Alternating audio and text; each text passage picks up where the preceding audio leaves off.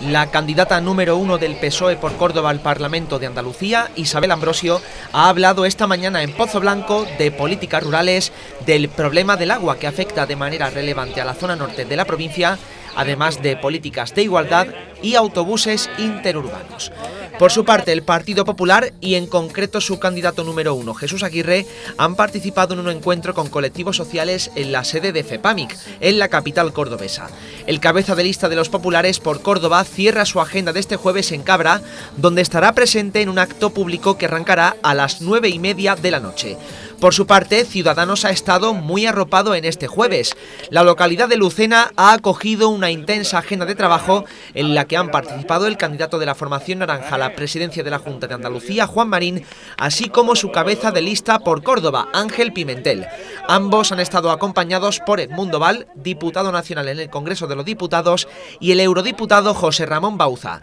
Y por parte de Vox, el secretario general de la formación, Javier Ortega Smith, ha visitado este jueves el mercadillo de Baena, la localidad de Montilla, y finalizará su agenda en Córdoba capital en un acto que tendrá lugar en la Plaza de la Trinidad y que contará con la presencia de Alejandro Hernández, el número uno de Vox por Córdoba en la lista.